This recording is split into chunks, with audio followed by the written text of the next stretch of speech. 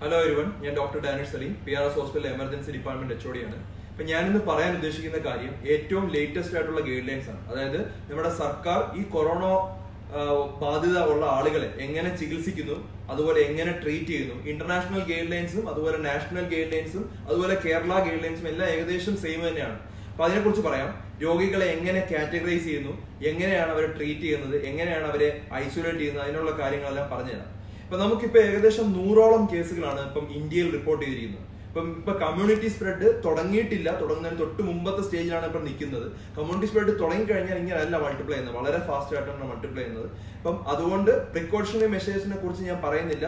അത് എല്ലാവരും ചെയ്യുക. കൃത്യമായി നമ്മൾ വരാതിരിക്കാനുള്ള എല്ലാ കാര്യങ്ങളും ചെയ്യുക. ഇനി എങ്ങനെയാണ് ഇത് കാറ്റഗറൈസ് ചെയ്യുന്നുള്ള കാര്യം പറയാം. ആദ്യമായി കാറ്റഗറൈസിന് മുമ്പ് എപ്പോഴാണ് കൊറോണ ബാധിത എന്ന് നിങ്ങൾ ചിന്തിക്കേണ്ടത്? ഒന്ന് കോവിഡ് നയന്റീൻ കമ്മ്യൂണിറ്റി സ്പ്രെഡ് നടന്ന സ്ഥലങ്ങളിൽ നിന്ന് നിങ്ങൾ വന്നിട്ടുണ്ടെങ്കിൽ വളരെ ഇമ്പോർട്ടന്റ് ആണ്. ആ സ്ഥലങ്ങളിൽ നിന്ന് വന്നിട്ടുണ്ടെങ്കിൽ ഇന്ത്യയിൽ ഇല്ല. മനസ്സിലായോ? ബാക്കിയുള്ള സൗത്ത് കൊറിയ ഇറാൻ ഇറ്റലി അങ്ങനെയുള്ള ചൈന പോലുള്ള നിങ്ങൾക്ക് ഡൗട്ട് ഉണ്ടെങ്കിൽ C D C centre of disease control അല്ലെങ്കിൽ ഡബ്ല്യു എച്ച്ഒയുടെ സെന്റർ സോറി തേർഡ് കാറ്റഗറി എന്നുള്ള ഒരു ക്ലാസിഫിക്കേഷൻ അടിച്ചു നോക്കിയാൽ മതി. അതിന്റെ അകത്ത് വരും ഏത് ഗ്രൂപ്പ് ഓഫ് ഏത് ഏതൊക്കെ കൺട്രീസ് ആണ് അങ്ങനെയുള്ള രാജ്യമെന്ന്. അത് വെളിയിൽ നിന്ന് വരുന്നവർ മാത്രം നോക്കിയാൽ മതി. നമ്മൾ വീട്ടിലിരിക്കുന്ന ആളുകളോ ഇന്ത്യയിലുള്ള ആളുകളോ നോക്കേണ്ട ആവശ്യമില്ല.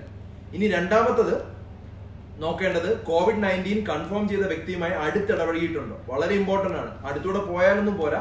അടുത്തിടപഴകിയിട്ടുണ്ടെങ്കിൽ മാത്രമേ വരാൻ ചാൻസ് ഉള്ളൂ ഈ രണ്ടെണ്ണം ഉണ്ടെങ്കിൽ നിങ്ങൾ എന്ത് ചെയ്യണം? നിങ്ങളുടെ ലക്ഷണങ്ങൾ ഉണ്ടോ നോക്കണം. എന്തൊക്കെയാണ് ലക്ഷണങ്ങൾ? പനി ചുമ ജലദോഷം അല്ലെ? ചുമ എന്ന് പറയുമ്പോൾ വരണ്ട ചുമയാണ്. ഓക്കെ ഇതിന്റെ അകത്ത് മൂന്ന് കാറ്റഗറീസ് ആയിട്ട് ഡിവൈഡ് ചെയ്യുവാണ്. കാറ്റഗറി എ കാറ്റഗറി എ എന്ന് പറയുമ്പോൾ പനി വരണ്ട ചുമ ജലദോഷം മാത്രം. വേറെ ഒരു ബുദ്ധിമുട്ടും ഇല്ല വേറൊരു ഇതുമില്ല ഇവർക്ക് ട്രീറ്റ്മെന്റ് ആവശ്യമില്ല. അതായത് നിങ്ങൾ ഹോസ്പിറ്റലിൽ പോകേണ്ട ആവശ്യമില്ല. നിങ്ങൾ ചെയ്യേണ്ട രണ്ടേ രണ്ട് കാര്യം. ഒന്ന് വീട്ടിൽ പതിനാല് ദിവസം നിങ്ങൾ ഒരു റൂമും ഒരു ടോയ്ലറ്റും ഉള്ള റൂമിൽ ഇരിക്കുക. ബാത്ത് ടോയ്ലറ്റ് അറ്റാച്ച്ഡ് ആയിട്ടുള്ള റൂമിൽ തന്നെ ഇരിക്കുക. ദിശ എന്നുള്ള നമ്പറിൽ ഇടയ്ക്ക് വിളിക്കുക. ഒരു ദിവസത്തിൽ ഒരിക്കൽ വിളിക്കുക അല്ല അവരെ നിങ്ങളെ വിളിച്ചോളും. ഇതാണ് നിങ്ങൾ ചെയ്യേണ്ടത്. ദിശയെ വിളിച്ചിരിക്കണം. ഈ ടെസ്റ്റ് ചെയ്യേണ്ട ആവശ്യമില്ല. എന്താണ് അവരുടെ ട്രീറ്റ്മെന്റ് ധാരാളം വെള്ളം കുടിക്കുക ഫ്രൂട്ട്സ് കഴിക്കുക അതുപോലെ ഉറങ്ങുക സമീകൃത ആഹാരം കഴിക്കുക. കാർബോഹൈഡ്രേറ്റ്സും പ്രോട്ടീനും ഫാറ്റ്സും ഉള്ള ഒരു ബാലൻസ്ഡ് ഫുഡ് കഴിക്കുക. ഞാൻ ഈ വീഡിയോ കഴിഞ്ഞ ഉടനെ അതിനെക്കുറിച്ച് സംസാരിക്കുന്നുണ്ട്. അടുത്തത് കാറ്റഗറി ബി കാറ്റഗറി ബി എന്ന് പറഞ്ഞാൽ പനി ചുമ ജലദോഷം ഉണ്ട് അതിന്റെ കൂടെ വേറെ എന്തെങ്കിലും ഹൈ റിസ്ക് ഉള്ള ആളുകൾ അറുപത് വയസ്സ് അറുപത്തഞ്ച് വയസ്സിന് മുകളിലുള്ള ആളുകൾ പ്രഗ്നന്റ് ലേഡീസ് ഡയബറ്റീസ് അല്ലെങ്കിൽ പിന്നെ ഹാർട്ട് ഡിസീസ് ഉള്ളവർ കിഡ്നി പ്രോബ്ലം ഉള്ളവർ ഇവരെല്ലാരും കൂടുതൽ ശ്രദ്ധിക്കണം. അത് കാറ്റഗറി ബി ആണ്. കാറ്റഗറി ബി എന്താ ചെയ്യേണ്ടത്? കാറ്റഗറി ബി വീണ്ടും ദിശയെ വിളിക്കുക. അവർ പറയും നിങ്ങൾ സിംറ്റംസ് എല്ലാം കേട്ടതിനു ശേഷം പറയും ടെസ്റ്റ് ചെയ്യാൻ വരണോ വേണ്ടയോ ചിലവർക്ക് വളരെ മൈൽഡ് ഒക്കെ ആണെങ്കിൽ അവരുടെ അടുത്ത് പറയും ടെസ്റ്റ് ചെയ്യേണ്ട. നിങ്ങൾ വീട്ടിൽ തന്നെ ഇരുന്നാൽ മതി. ഇതുപോലെ തന്നെ കണ്ടിന്യൂ ചെയ്താൽ മതി എന്ന് പറയും. ഇനി അഥവാ അവർ പറയുന്നു വരാൻ പറയുവാണെങ്കിൽ അവർ നിർദ്ദേശിക്കുന്ന സ്ഥലത്ത് തന്നെ പോവുകയോ അല്ലെങ്കിൽ ഒരു ആംബുലൻസ് വിട്ട് വിളിപ്പിക്കുകയോ ചെയ്യും. എന്നിട്ട് എന്ത് ചെയ്യും? സ്വാബ് എടുത്ത് ടെസ്റ്റ് ചെയ്യും. അതിനുശേഷം ഐസൊലേഷൻ വേണോ വേണ്ടെന്ന് പറയും. ഒന്നില്ലെങ്കിൽ അത് ഹോം ഐസൊലേഷൻ ആയിരിക്കും അല്ലെങ്കിൽ അത് ഹോസ്പിറ്റൽ ഐസൊലേഷൻ ആയിരിക്കും. ഇനി കാറ്റഗറി സി കാറ്റഗറി സി എന്ന് പറഞ്ഞാൽ പനി ചുമ ജലദോഷത്തിന്റെ കൂടെ ശ്വാസം മുട്ടൽ അല്ലെങ്കിൽ ശ്വാസം എടുക്കാനുള്ള തടസ്സം അല്ലെങ്കിൽ എന്തെങ്കിലും അധികം കോംപ്ലിക്കേഷൻ വന്നാൽ ഇത്തരം ആളുകളെയാണ് നമ്മൾ ഹോസ്പിറ്റലിൽ വെക്കുന്നത്. അവരെ ട്രീറ്റ് ചെയ്യും. എന്താണ് ട്രീറ്റ്മെന്റ് ഇല്ലാതെ പിന്നെ എന്താണ് ട്രീറ്റ് ചെയ്യുന്നത് ചോദിച്ചാൽ എല്ലാത്തിനും ട്രീറ്റ്മെന്റ് ഉണ്ട്. നമുക്ക് ഈ വൈറസിനെ കൊല്ലാനുള്ള മരുന്നാണ് ഇല്ലാത്തത്. ഇപ്പൊ പനി ഉണ്ടെങ്കിൽ പനിക്ക് മരുന്ന് കൊടുക്കും. ഫ്ലൂയിഡ് ബോഡിയുടെ ഹൈഡ്രേഷൻ ഇല്ലെങ്കിൽ ഹൈഡ്രേഷൻ ശരിയാക്കും. സെക്കൻഡറി ബാക്ടീരിയൽ ഇൻഫെക്ഷൻ ഉണ്ടായാൽ അതിനുള്ള മരുന്ന് കൊടുക്കും. പിന്നെ ചെസ്റ്റ് ഫിസിയോ ഉണ്ട്. പിന്നെ ലങ്സിന്റെ അകത്ത് വെള്ളം കയറി അല്ലെങ്കിൽ കഫം നിറഞ്ഞാൽ അത് പുറത്ത് കളയാൻ വേണ്ടി നമുക്ക് ബൈപ്പാ പോലുള്ള മെഷീൻസ് ഉണ്ട്. അത് പുറത്ത് കളയാൻ വേണ്ടി ശക്തമായ ഓക്സിജൻ കൊടുത്ത് അതിനെ പുറം പുറന്തള്ളി കഴിഞ്ഞാൽ ശരീരം തന്നെ വലിച്ചെടുത്തോളും. അങ്ങനെയുള്ള ട്രീറ്റ്മെന്റ് ഒക്കെ അവൈലബിൾ ആണ്. എല്ലാ മിക്ക ഹോസ്പിറ്റലും അവൈലബിൾ ആണ്. പിന്നെ വെന്റിലേറ്റർ ഫെസിലിറ്റി ഉണ്ട്. അപ്പൊ ഇതൊക്കെ നമുക്കുണ്ട്. അപ്പൊ അത് വളരെ കുറച്ച് ആളുകൾക്ക് മൊത്തം പതിനഞ്ച് ശതമാനം ആളുകൾ മാത്രമാണ് അങ്ങനെ ആകുന്നത് അതിന്റെ അകത്ത് തന്നെ മൂന്ന് ശതമാനം ആളുകൾ മാത്രമേ എല്ലാവരും വളരെ ക്രിട്ടിക്കൽ ആവുന്നുള്ളൂ. ബാക്കി എൺപത് ശതമാനത്തോളം ആളുകൾ വീട്ടിൽ തന്നെ ഇരുന്ന് ചികിത്സിക്കാൻ പറ്റുന്ന അസുഖം തന്നെയാണ് കോവിഡ് നയന്റീൻ മനസ്സിലായോ? അപ്പൊ category A category B category C എന്ന് പറഞ്ഞാൽ നിങ്ങൾക്ക് തന്നെ വീട്ടിൽ നിന്ന് ക്ലാസിഫൈ ചെയ്യാം. എന്നിട്ട് കാറ്റഗറി ബി ആണെങ്കിലും സി ആണെങ്കിലും നമ്മൾ ശ്രദ്ധിക്കണം. അതിനുവേണ്ടിയാണ് എല്ലാവരും എല്ലാവരെയും ദിശ ഫോളോ അപ്പ് ചെയ്തോളും. ദിശ വിളിക്കും ചെക്ക് ചെയ്യും എല്ലാ ദിവസവും ചെക്ക് ചെയ്യും. ആ കാര്യങ്ങളെല്ലാം കൃത്യമായി നടന്നുകൊണ്ടിരിക്കും. നമ്മൾ ചെയ്യേണ്ടത് എന്താണ്? ഈ കറക്റ്റ് ആയിട്ടുള്ള കാറ്റഗറൈസേഷനും നമ്മൾ പോയിട്ടുണ്ടോ? ഇവരുമായി ഡയറക്റ്റ് കോണ്ടാക്ട് ഉണ്ടോ? അല്ലെങ്കിൽ ഈ രാജ്യങ്ങളിൽ നിന്ന് വന്നിട്ടുണ്ടോ? എന്നുള്ളത് പറയുക. ഇനി വീട്ടിലിരിക്കുന്ന ആളുകൾ എന്തൊക്കെ ശ്രദ്ധിക്കണം? ഹോം ഐസൊലേഷൻ ആണ് പറഞ്ഞത്. നിങ്ങൾ വീട്ടിലിരുന്ന് ആഹാരം കഴിക്കാം മൊബൈൽ ഉപയോഗിക്കാം ടി വി കാണാം. പക്ഷേ ഒരു കാര്യം ആലോചിക്കുക. നിങ്ങൾ നിങ്ങളെ ബന്ധുക്കളോ അല്ലെങ്കിൽ നിങ്ങൾക്ക് ഒരു അതിഥികളോ നിങ്ങളെ അടുത്ത് വരാൻ പാടില്ല.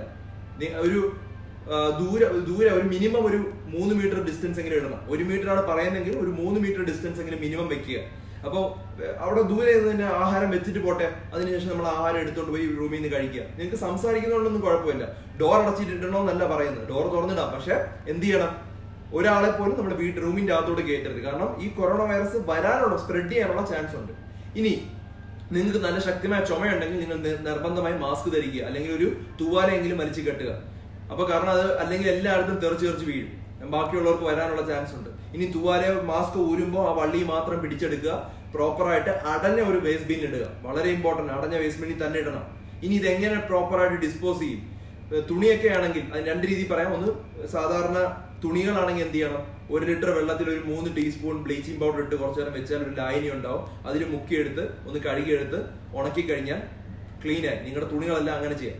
ഇനി നിങ്ങളെ മാസ്ക് ആണെങ്കിൽ എന്ത് ചെയ്യണം? കത്തിച്ച് കളയണം. ഓക്കെ പക്ഷെ അടഞ്ഞ ഒരു ഇതിൽ തന്നെ ഇടണം. അടഞ്ഞ ഒരു വേസ്റ്റ് ബിന്നിൽ തന്നെ ഇടണം. വളരെ ഇമ്പോർട്ടന്റ് ഇനി അടുത്ത് എന്താണ്? കാറ്റഗറി എ ഉള്ളവർ ഞാൻ പറഞ്ഞു ദിശയെ വിളിക്കണം. നിങ്ങൾക്ക് എന്തെങ്കിലും ലക്ഷണങ്ങൾ പുതുതായിട്ട് എന്തെങ്കിലും ലക്ഷണങ്ങൾ ഉണ്ടെങ്കിൽ അപ്പോ അപ്പോൾ അറിയിക്കണം. ഇനി എന്താണ് അവർ ശ്രദ്ധിക്കേണ്ടത്? അവരുടെ റെസ്പിറേറ്ററി ഡ്രോപ്ലെറ്റ്സ് പലയിടത്തും വീഴാൻ ചാൻസ് ഉണ്ട് അല്ലെ? ചുമക്കുന്ന സമയത്തോ തുമ്മുന്ന സമയത്തോ പലയിടത്തും വീഴാം.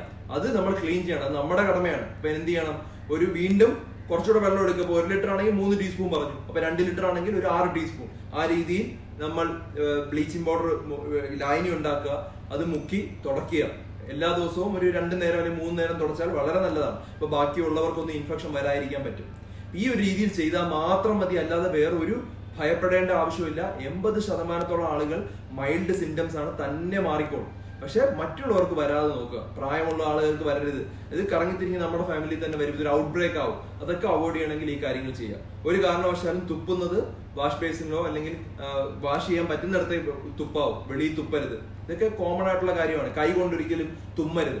അതിന് പകരം നിങ്ങൾ അറ്റ്ലീസ്റ്റ് ഷോൾഡർ കൊണ്ട് തുമ്മുക. അല്ലെങ്കിൽ എന്ത് ചെയ്യുക? നിങ്ങൾ ഒരു കർച്ചീഫ് ഉപയോഗിക്കുക അല്ലെങ്കിൽ ഒരു ടിഷ്യൂ ഉപയോഗിക്കുക അല്ലെങ്കിൽ മാസ്ക് കിട്ടുക. അതൊക്കെ മറക്കാൻ പാടില്ലാത്ത കാര്യങ്ങളാണ്. ധാരാളം വെള്ളം കുടിക്കുക. അപ്പൊ ഞാൻ എങ്ങനെയാണ് പ്രതിരോധ ശക്തി കൂട്ടാനുള്ളതെന്നുള്ളത് ഇത് കഴിഞ്ഞ ഉടനെ ഞാൻ ഒരു വീഡിയോ ആയിട്ട് ചെയ്യുന്ന തരാം. ഒരു മൂന്ന് മിനിറ്റേ ഉള്ളൂ. വളരെ ക്വിക്ക് ആയിട്ട് പറഞ്ഞുതരാം ഈ കരി ഈ ഇപ്പം എല്ലാവർക്കും അറിയാം പ്രതിരോധ ശക്തി കൂട്ടണമെന്ന്. പ്രതിരോധ ശക്തി കൂട്ടാൻ വേണ്ടിയുള്ള ഒരു അഞ്ച് ടിപ്പ് വേറെ കൂടുതലൊന്നും പറയുന്നില്ല. അഞ്ച് ടിപ്പ് ഇത് ഫോളോ ചെയ്ത് കഴിഞ്ഞാൽ വളരെ യൂസ്ഫുൾ ആണ്. അത് ഞാൻ ഈ വീഡിയോ കഴിഞ്ഞ ഉടനെ പറയാം. ഡൗട്ട്സ് ഒന്ന് ഡൗട്ട്സ് പറയാം. അധികം ഡൗട്ട്സ് ഇല്ല. ദിശ എടുക്കുന്നില്ല. പക്ഷെ ഈ ദിശ എടുക്കുന്നില്ലെങ്കിൽ നേരെ ഒരു നമ്പർ നമ്മൾ മെൻഷൻ ചെയ്തിട്ടുണ്ട്. Zero four seven one two five five two zero five six ആണ് ദിശയുടെ നമ്പർ അത് കൂടാതെ ആറ് ഹെൽപ്പ് ലൈനും കൂടെ സ്റ്റാർട്ട് ചെയ്തിട്ടുണ്ട്. ഞാൻ എന്റെ പേജിൽ തന്നെ ഷെയർ ചെയ്തിട്ടുണ്ട്. കുറെ നമ്പർ ഷെയർ ചെയ്തിട്ടുണ്ട്. അപ്പൊ ആ നമ്പറിലും വിളിക്കാം. ആ നമ്പറിൽ വിളിച്ചാലും നിങ്ങൾക്ക് പോവാം. അവിടെ പോകാൻ പറ്റും. അവർ ഹെൽപ്പ് ചെയ്യുന്നതായിരിക്കും. കാരണം ഞങ്ങളും ദിശയെ വിളിക്കുന്നുണ്ട്. ഞങ്ങളുടെ ഇവിടുന്ന് സംശയം സംശയം വരുന്ന പേഷ്യന്റിനെ വിടുമ്പോൾ ദിശ വിളിക്കുന്നുണ്ട്. ആദ്യം കിട്ടില്ലെങ്കിലും പിന്നെ കിട്ടുന്നുണ്ട്. അതുകൊണ്ട് വിളിക്കുക. അത്രേ ഉള്ളൂ. വേറെ അഡീഷണൽ ഇവരെല്ലാം ഒരു വെച്ചത് ഓക്കെ ഇനി ഇവരെല്ലാം ഒരുമിച്ചാണോ വെക്കുന്നതെന്ന് ചോദിച്ചു കഴിഞ്ഞാൽ ഐസൊലേഷൻ വെക്കുന്ന സമയത്ത് ഒന്നര മീറ്റർ ദൂരെ വെക്കും. ഒന്നര മീറ്റർ ദൂരെയാണ് വെക്കുന്നത്.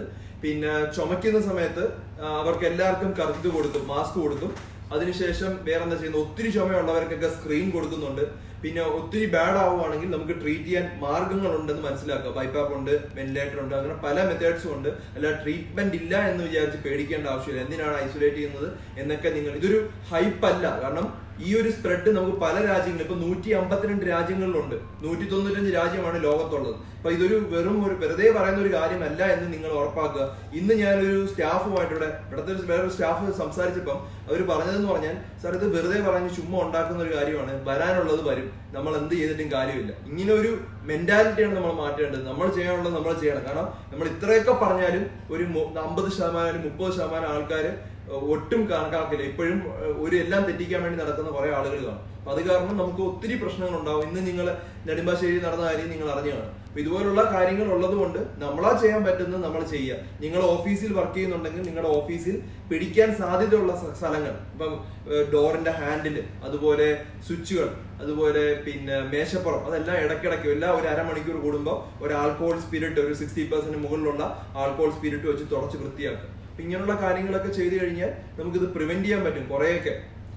വേറെ എന്തെങ്കിലും സംശയം ഉണ്ടോ ഓക്കെ വാക്സിൻ മരുന്ന് അവൈലബിൾ ആണെന്ന് പറഞ്ഞ് ഇന്നും എനിക്ക് കുറെ മെസ്സേജ് വരുന്നുണ്ട്. വാക്സിൻ ഇന്ന് വരെ കണ്ടുപിടിച്ചിട്ടില്ല. ഇനി അഥവാ കണ്ടുപിടിച്ചാലും ഇനിയും എടുക്കും. കുറെ ഒരു മിനിമം ഒരു എട്ട് മാസം അല്ലെങ്കിൽ ഒരു വർഷം എടുക്കും. ഇത് ഹ്യൂമൻ ട്രയൽ കഴിഞ്ഞ് ഇത് മനുഷ്യർക്ക് കൊടുക്കുമ്പോൾ സൈഡ് എഫക്റ്റ് ഇല്ല എന്ന് ഉറപ്പ് വരുത്തുന്നവരെ നമുക്ക് സമയം എടുക്കും അതുകൊണ്ട് ബാക്കി അങ്ങനെയുള്ള വാർത്തകൾ തെറ്റാണ്. ഇനി മരുന്നുകൾ മരുന്നുകൾ ഉണ്ടെന്ന് പറഞ്ഞ് പലരും ക്ലെയിം ചെയ്യുന്നുണ്ട്. അങ്ങനെയുള്ള മരുന്നുകൾ ഉണ്ടെങ്കിൽ അതും മനുഷ്യന് സൈഡ് എഫക്റ്റ് ഇല്ല എന്ന് പ്രൂവ് ചെയ്യണം. രണ്ട് ഇത് ഉത്തര പേഷ്യൻസിന് കൊടുത്തു കഴിയുമ്പോൾ ഒരു രണ്ടായിരം അല്ലെങ്കിൽ മൂവായിരം പേഷ്യൻസിന് കൊടുക്കുമ്പോൾ എഫക്റ്റ് ഉണ്ടാവുന്നുള്ള ട്രയൽ വരണം. അല്ലാതെ നമുക്ക് ഒരു മരുന്നുകളും ഇപ്പൊ ഈ ഒരു ഒരു മൂന്ന് മരുന്ന് ചേർന്ന് കൊടുത്തപ്പോൾ ഇരുപത് പേഷ്യന്റ് ഇമ്പ്രൂവ് ചെയ്തിട്ടുണ്ട്. അതെല്ലാം നമ്മൾ ഓർത്ത് വെച്ചിട്ടുണ്ട്. അത്ര ക്രിട്ടിക്കൽ ആവുകയാണെങ്കിൽ നമ്മൾ ആ പേഷ്യൻസിന് കൊടുക്കും. പക്ഷെ ഇപ്പോഴും അപ്രൂവായിട്ടുള്ള മരുന്നുകൾ ഇതുവരെ വന്നിട്ടില്ല. ആ മൂന്ന് കോമ്പിനേഷനുള്ള മരുന്ന് മാത്രമാണ് ഇപ്പോൾ വന്നേക്കുന്നത്. ഒരു റിവേഴ്സ് ട്രാൻസ്മിറ്റേസ് ഇൻഹിബിറ്ററും ക്ലോറോക്യൂനും ചേർന്നിട്ടുള്ള മരുന്നുകൾ ഒരു ഇരുപത് പേഷ്യന്റ് ട്രൈ ചെയ്തപ്പോൾ വളരെ എഫക്റ്റീവ് ആണെന്നുള്ള സ്റ്റഡി വന്നിട്ടുണ്ട്. പക്ഷെ ഇരുപതൊന്നും നമുക്ക് കണക്കല്ല. ഒരു ലാർജ് നമ്പർ വന്നാൽ മാത്രമേ മനുഷ്യന്മാർ എല്ലാ മനുഷ്യർക്കും കൊടുക്കാൻ പറ്റുള്ളൂ. അത് മനസ്സിലാക്കുക. പിന്നെ വേറെ ചോദ്യം. How many needers for the result okay നമുക്ക് റിസൾട്ട് സ്വാബ് എല്ലാവർക്കും ഇനി വീണ്ടും ആവർത്തിക്കുകയാണ്. കാറ്റഗറി എക്ക് ടെസ്റ്റിന്റെ ആവശ്യമില്ല. നിങ്ങൾ ഇന്ന് ഇന്നിപ്പോ ഒരു പേഷ്യന്റ് വന്നു വെള്ളനാട് പോയ പേഷ്യന്റ് ആണ്. അവർ അഞ്ച് കിലോമീറ്റർ ദൂരെ പോയതാണ്. അവർക്ക് ടെസ്റ്റ് ചെയ്യണം. അവർക്ക് തൊണ്ടയിൽ ഒരു ചൊറിച്ചിൽ മാത്രമേ ഉള്ളൂ. നിങ്ങൾ ദയവ് ചെയ്ത് ഹോസ്പിറ്റലിൽ വരരുത്. ഹോസ്പിറ്റലിൽ വരുമ്പോഴാണ് ചാൻസസ് ഓഫ് ഇൻഫെക്ഷൻ കൂടുതൽ. ഒന്ന്. രണ്ട്. ഈ പേഷ്യൻസ് ടെസ്റ്റ് ചെയ്ത് കണ്ടുപിടിച്ചിട്ടും കാര്യമില്ല പ്രത്യേകിച്ച്. നിങ്ങൾക്ക് ചെയ്യേണ്ടത് പതിനാല് നിങ്ങൾക്ക് സംശയം ഉണ്ടോ പനി ജലദോഷം ഉണ്ടെങ്കിൽ വീട്ടിൽ തന്നെ ഇരിക്കുക എന്നുള്ളതാണ് പതിനാല് ദിവസം. ഇനി ടെസ്റ്റ് ചെയ്യണമെന്ന് ഉറപ്പാണെങ്കിൽ ദിശയായിട്ട് കോൺടാക്ട് ചെയ്ത് ജസ്റ്റ് അവിടെ പോയി ആ സ്വാബ് എടുക്കുക ഒരു ദിവസം കൊണ്ട് റിസൾട്ട് വരും. ഒറ്റ ദിവസം മതി നമുക്ക് റിസൾട്ട് കിട്ടാൻ. ഇപ്പം തിരുവനന്തപുരം കോഴിക്കോട് ആലപ്പുഴ മൂന്ന് സ്ഥലങ്ങളിൽ ടെസ്റ്റ് ചെയ്യുന്നുണ്ട്. അപ്പൊ അത് വളരെ പെട്ടെന്ന് റിസൾട്ടും കിട്ടുന്നുണ്ട്. പി സി ആർ ടെസ്റ്റ് ആണ് ചെയ്യുന്നത്. Polymerase chain reaction test automatic test ആണ്. പ്രൈവറ്റ് ആയിട്ട് ചെക്ക് ചെയ്യാൻ ആക്ച്വലി അതൊരു സൗകര്യം ഉണ്ടാക്കിയിട്ടില്ല. സി വീണ്ടും ഇത് മനസ്സിന്റെ പേടി കാരണമാണ് പ്രൈവറ്റ് ആയിട്ട് ചെക്ക് ചെയ്യുന്നത്. നമുക്ക് സാധാരണ വരുന്ന പനി ചുമ ജലദോഷം പോലെ കണക്കാക്കുക. പക്ഷെ ഇതൊരു സ്പ്രെഡ് ചെയ്യുന്ന അസുഖമായതുകൊണ്ട് മാത്രമാണ് നിങ്ങൾക്ക് ഇത്രമാത്രം അവയർനെസ് തരുന്നത്. അത് മാത്രമേ ഉള്ളൂ. പക്ഷേ ബയോടെക്നോളജി രാജീവ് ഗാന്ധി ബയോടെക്നോളജിയിൽ സാധനം വന്നിട്ടുണ്ട്. പക്ഷെ അപ്രൂവൽ കിട്ടിയാൽ നമുക്ക് പ്രൈവറ്റ് ആയിട്ട് ചെയ്യാൻ ചെക്ക് ചെയ്യാൻ പറ്റും. മൂവായിരം രൂപ അടുപ്പിച്ചെന്താണ് ടെസ്റ്റിന് ആ ടെസ്റ്റിന് മാത്രം. അത് അപ്രൂവൽ കിട്ടിയാൽ മാത്രമേ നമുക്ക് ചെയ്തു തുടങ്ങാൻ പറ്റുള്ളൂ. അല്ലാതെ ബ്ലഡ് ഒന്നും നോക്കിയാൽ അറിയാൻ പറ്റൂല. ബ്ലഡ് നോക്കിയാൽ നമുക്ക് വൈറൽ പനിയാണോ ബാക്ടീരിയൽ പനിയാണോ എന്ന് അറിയാൻ പറ്റും എന്നല്ലാതെ പൂർണമായി ഇത് കൊറോണ വൈറസ് ആണെന്നുള്ളത് കണ്ടുപിടിക്കാനുള്ള ടെസ്റ്റുകൾ വന്നിട്ടില്ല. അപ്പൊ അത് നിങ്ങൾ വെറുതെ ആവശ്യമില്ലാതെ അവിടെയൊക്കെ പോയി നിന്ന് ആ ആളുകളും കൂടെ ഇൻഫെക്ട് ചെയ്ത് പിന്നെ പിന്നെ അത് കണ്ടുപിടിക്കാനും പറ്റും. മറ്റുള്ളവരെ ഇൻഫെക്ട് ചെയ്യുമ്പോൾ നമുക്ക് അറിയാൻ പറ്റും ഏത് രോഗിയിൽ നിന്നാണ് കിട്ടിയത്. അപ്പോൾ അതിൽ പിന്നെ കോൺടാക്ട് ട്രേസിങ് വരും. അതൊക്കെ അവോയ്ഡ് ചെയ്യണമെങ്കിൽ വീട്ടിൽ തന്നെ പനിയുള്ള സമയത്ത് മാറിയിരിക്കുക. നിങ്ങൾ ആലോചിക്കേണ്ട എത്ര ഉള്ളൂ. രണ്ടേ രണ്ട് കാര്യം. കോവിഡ് നയന്റീൻ പേഷ്യൻസ് എന്ന് കൺഫേം ചെയ്ത വ്യക്തിയുമായി അടുത്ത് ഇടപഴകിയിട്ടുണ്ടോ? രണ്ട് കോവിഡ് നയന്റീൻ പ്രദേശങ്ങളിൽ നിന്ന് നിങ്ങൾ വന്നിട്ടുണ്ടോ? അതായത് കമ്മ്യൂണിറ്റി സ്പ്രെഡ് സംഭവിച്ച സ്ഥലങ്ങളിൽ നിന്ന് വന്നിട്ടുണ്ടോ? ഈ രണ്ട് കാര്യം മാത്രം ചിന്തിച്ചാൽ മതി. വളരെ കുറവ് പേഷ്യൻസ് ആണ് നമുക്കിപ്പോൾ ഉള്ളത് കോവിഡ് നയന്റീൻ അതുകൊണ്ട് നിങ്ങൾക്ക് ഡയറക്റ്റ് എക്സ്പോഷർ ഇല്ല എന്ന് തന്നെ. ഇപ്പൊ വെള്ളനാട് ആ ഏരിയയിലൊന്നും തൊട്ടടുത്ത ഏരിയയിലൊന്നും ആരും പോകുന്നില്ല. അങ്ങനെയൊന്നും ഇല്ല ഇത്. അറ്റ്മോസ്ഫിയറിൽ പറന്നു നടക്കുന്ന ഒരു വൈറസ് അല്ല ഇത്. ഇത് ഡ്രോപ്പ്ലെറ്റ് ഇൻഫെക്ഷൻ ആണ്. ഇത് നിങ്ങൾ കപത്തിൽ നിന്നോ സ്രവങ്ങളിൽ നിന്നോ വീഴുന്നത് മേശപ്പുറത്താണ് വീഴുന്നത്. അത് തൊട്ടിട്ട് നമ്മൾ കണ്ണിലോ മൂക്കിലോ ഒക്കെ തൊടുമ്പോഴാണ് പ്രശ്നം വരുന്നത്. അപ്പോൾ ഹാൻഡ് ഹൈജീൻ ഉണ്ടെങ്കിൽ ആ പ്രശ്നം വരുന്നില്ല. വേറെ ഏകദേശം എല്ലാം കഴിഞ്ഞു. പിന്നെ ഇന്ന് വേറെ ചോദ്യങ്ങൾ ഉണ്ടായിരുന്നത് വെയിൽ വീണ്ടും ചോദിക്കുന്നുണ്ട്. വെയിൽ ചൂടിന് എന്തെങ്കിലും എഫക്റ്റ് കാണും. പക്ഷെ അത് നമുക്ക് പഠനം ചെയ്താലേ പറയാൻ പറ്റൂ. നമ്മുടെ ബോഡിയുടെ ടെമ്പറേച്ചർ മുപ്പത്തി ആറ് ഡിഗ്രി മുപ്പത്തി അഞ്ച് ഡിഗ്രി സെൽഷ്യസ് ആണ് മുപ്പത്തി ആറ് ഈ വൈറസ് അപ്പം എന്തായാലും ഇത്രയും ചൂടിൽ നമ്മൾ നിൽക്കുന്നുണ്ടല്ലോ. പിന്നെ പനിയൊക്കെ വരുമ്പോൾ അറിയാലോ എത്ര ഡിഗ്രി ആവും.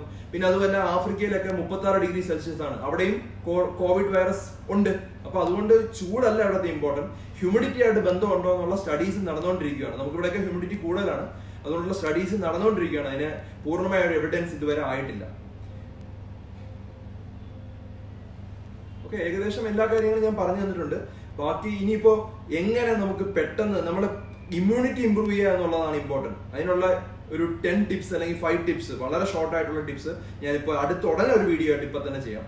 ഇത് മാക്സിമം ആളുകൾ ഷെയർ ചെയ്യുക. കൂടുതൽ അപ്ഡേറ്റ്സ് വന്നുകൊണ്ടിരിക്കും doctor D better life follow ചെയ്യുക.